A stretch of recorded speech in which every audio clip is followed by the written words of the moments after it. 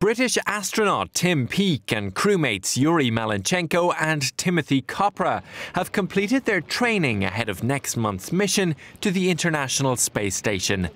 The trio visited Red Square and the Yuri Gagarin Museum at Star City in Russia on Monday, laying flowers at the graves of Russian cosmonauts. In just a few weeks' time, the crew will board a Soyuz rocket like this one and blast off into space on a mission expected to last seven months, one month longer than originally planned.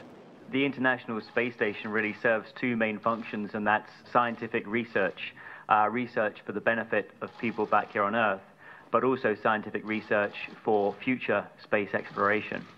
Um, and something else that really is inherent in what we do in the International uh, Space Station is, is this international partnership, which has also been so successful and so important over a long period of time.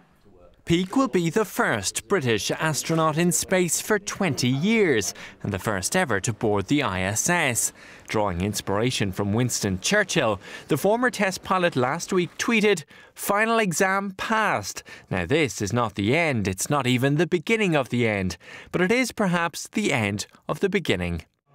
And as Tim prepares for his trip, the astronauts already on board the ISS have been enjoying a Thanksgiving meal. Smoked turkey, if Kjell, I don't know if you want to open that up. And uh, some candied yams here, some uh, rehydratable corn. No doubt Tim Peake is looking forward to the delights of cosmic cuisine. His mission is expected to launch on December 15th. They are delicious. Happy, happy Thanksgiving, everybody.